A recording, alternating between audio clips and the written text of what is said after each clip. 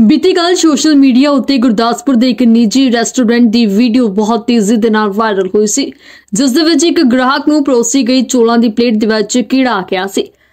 ਅੱਜ ਇਸ ਮਾਮਲੇ ਦੇ ਵਿੱਚ ਸੰਬੰਧਿਤ ਫੂਡ ਸੇਫਟੀ ਵਿਭਾਗ ਵੱਲੋਂ ਹੋਟਲ ਦੇ ਵਿੱਚ ਛਾਪੇਮਾਰੀ ਕੀਤੀ ਗਈ।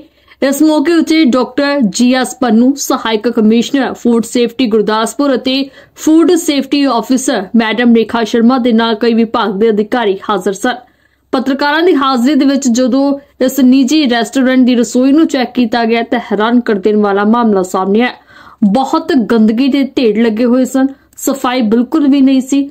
ਜੋ ਫੂਡ ਸੇਫਟੀ ਵਿਭਾਗ ਤੇ ਮਾਮਡਨ ਨੇ, ਸਭ ਕੁਝ ਉਹਨਾਂ ਦੇ ਉਲਟ ਅੰਦਰ ਹੋ ਰਿਹਾ ਸੀ, ਜਿਸ ਨੂੰ ਲੈ ਕੇ ਸੰਬੰਧਿਤ ਵਿਭਾਗ ਦੇ ਅਧਿਕਾਰੀਆਂ ਵੱਲੋਂ ਸੈਂਪਲ ਲੈ ਲਏ ਗਏ ਨੇ। ਗੱਲਬਾਤ ਦੇ ਦੌਰਾਨ ਜੀਐਸ ਪੰਨੂ, ਸਹਾਇਕ ਕਮਿਸ਼ਨਰ, ਫੂਡ ਸੇਫਟੀ ਵੱਲੋਂ ਕਿਹਾ ਗਿਆ ਕਿ ਉਹਨਾਂ ਵੱਲੋਂ ਵੀਡੀਓਗ੍ਰਾਫੀ ਦੇ ਇਲਾਵਾ ਵੱਖ-ਵੱਖ ਤਰ੍ਹਾਂ ਦੇ ਜ਼ਰੂਰੀ ਸੈਂਪਲ ਲੈ ਲਏ ਗਏ ਨੇ।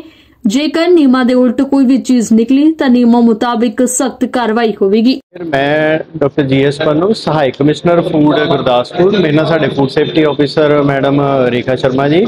ਅਸੀਂ ਜਿਹੜਾ ਹੈਗਾ ਆ ਜੀ, ਅੱਜ ਸਾਡੇ ਧਿਆਨ ਦੇ ਵਿੱਚ ਲਿਆਂਦਾ ਗਿਆ ਸੀਗਾ ਕਿ ਇੱਕ ਰੈਸਟੋਰੈਂਟ ਦੇ ਵਿੱਚ ਜਿਹੜਾ ਖਾਣਾ ਖਾਦਾ ਗਿਆ ਹੈ ਆਪਣੇ ਭਾਈ ਸਾਹਿਬ ਨਾਲੋਂ।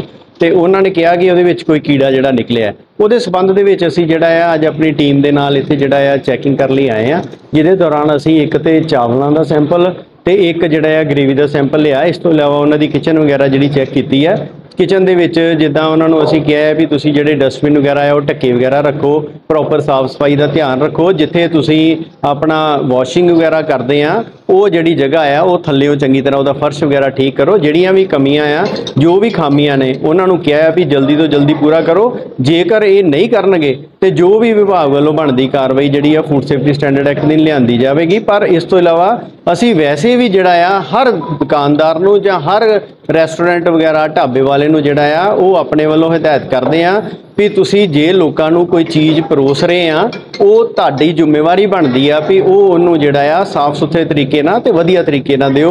ਜੇਕਰ ਉਹਦੇ ਵਿੱਚ ਕੋਈ ਵੀ ਕਮੀ ਪਾਈ ਜਾਂਦੀ ਆ ਜਾਂ ਖਾਮੀ ਪਾਈ ਜਾਂਦੀ ਆ ਜੋ ਵੀ ਐਜ਼ ਪਰ ਐਕਟ ਆ ਉਹ ਬਣਦੀ ਕਾਰਵਾਈ ਜਿਹੜੀ ਆ ਉਹ ਲਿਆਚੀ ਅਸੀਂ ਜਿਹੜਾ ਆ ਅੱਜ ਆਪਣੀ ਟੀਮ ਨਾਲ ਇੱਥੇ ਚੈੱਕ ਕਰਨ ਆਏ ਆ। ਜੇ ਜੇ ਇਹਦੇ ਵਿੱਚ ਜਿਹੜੀ ਕੋਈ ਅਸੀਂ ਸੈਂਪਲਸ ਤਾਂ ਹੀ ਲੈ ਲਏ ਆ ਉਹ ਐਜ਼ ਪਰ ਐਕਟ ਜਿਹੜਾ ਆ ਉਹਦੇ ਹਿਸਾਬ ਦੇ ਨਾਲ ਅਸੀਂ ਤਾਂ ਹੀ ਆਏ ਆ। ਉਹ ਜਿਹੜੀ ਚੀਜ਼ ਹੈ ਉਹਦੀ ਕੁਆਂਟੀਟੀ ਹਰ ਚੀਜ਼ ਦੀ ਕੁਆਂਟੀਟੀ ਜਿਹੜੀ ਹੁੰਦੀ ਆ ਵੀ ਉਹਦੇ ਹਿਸਾਬ ਦੇ ਨਾਲ ਅਸੀਂ ਕੋਈ ਚੀਜ਼ ਦਾ ਸੈਂਪਲ ਲੈ ਕੇ ਭੇਜ ਸਕਦੇ ਆ। ਵੇਖੋ, ਸਭ ਤੋਂ ਪਹਿਲੀ ਗੱਲ ਤੇ ਇਹ ਆ ਵੀ ਇਹ ਜਿਹੜੀ ਚੀਜ਼ ਹੈਗੀ ਆ, ਹੋਣੀ ਨਹੀਂ ਚਾਹੀਦੀ। ਠੀਕ ਹੈ ਜੀ? ਜੇ ਹੋਈ ਆ ਤੇ ਜੇ ਉਹਦੇ ਸਬੰਧ ਦੇ ਵਿੱਚ ਉਹ ਅੱਗੇ ਤੋਂ ਸਾਰੇ ਦੁਕਾਨਦਾਰ ਤਾਂ ਹੀ ਕਹਿ ਰਿਹਾ ਜੀ, ਉਹਦੇ ਵਿੱਚ ਇਹਨਾਂ ਨੂੰ ਅਸੀਂ ਜਿਹੜਾ ਆ, ਇਹਦੇ ਸਬੰਧ ਦੇ ਵਿੱਚ ਨੋਟਿਸ ਜਾਰੀ ਕਰਦੇ ਆ, ਜਿਹਦੇ ਵਿੱਚ ਕਿ ਅਸੀਂ ਜੋ ਜੋ ਕਮੀਆਂ ਪਾਈਆਂ ਗਈਆਂ ਆ, ਉਹਦਾ ਟਾਈਮ ਪੀਰੀਅਡ ਹੁੰਦਾ ਹੈ ਜਿਹੜਾ ਲਾਇਸੈਂਸ ਆ ਲਾਇਸੈਂਸ ਦੇ ਨਾਲ ਇੱਕ ਜਿਹੜਾ ਆ, ਇੱਕ ਜਿਹੜਾ ਇਹਨਾਂ ਨੇ ਨਾ ਜੀ ਰੂਲ 12 ਲਾਉਣੇ ਹੁੰਦੇ 골ਡਨ ਰੂਲ 12 ਉਹਦੇ ਥੱਲੇ ਇਹਨਾਂ ਨੇ ਆਪਣਾ ਕੋਈ ਇੱਕ ਨੰਬਰ ਡਿਸਪਲੇ ਸਾਰਿਆਂ ਨੂੰ ਕਰਨ ਦੀ ਹਦਾਇਤ ਕੀਤੀ ਜਾਂਦੀ ਆ, ਵੀ ਤੁਸੀਂ ਆਹ ਨੰਬਰ ਆਪਣਾ ਲਾਓ, ਜੇ ਇਨ ਕੇਸ ਪਰਮਾਤਮਾ ਨਾ ਕਰੇ, ਕਿਸੇ ਨੂੰ ਵੀ, ਕਿਸੇ ਵੀ ਕਸਟਮਰ ਨੂੰ ਜਾਂ ਕਿਸੇ ਨੂੰ ਵੀ ਕੋਈ ਪ੍ਰੋਬਲਮ ਆਉਂਦੀ ਆ, ਤੇ ਉਹ ਉਸ ਨੰਬਰ ਦੇ ਉੱਤੇ ਪਹਿਲਾਂ ਤੇ ਤੁਹਾਨੂੰ ਕੰਟੈਕਟ ਕਰੇ। ਜੇ ਤੁਸੀਂ ਉਹ ਪ੍ਰੋਬਲਮ ਜਿਹੜੀ ਆ ਸੋਲਵ ਨਹੀਂ ਕਰਦੇ ਆ, ਤੇ ਉਹ ਜਿਹੜੇ ਆ, ਉਹ ਸੰਬੰਧਿਤ ਮਹਿਕਮੇ ਨੂੰ ਜਿਹੜਾ ਆ, ਉਹ ਸ਼ਿਕਾਇਤ ਕਰ ਸਕਦੇ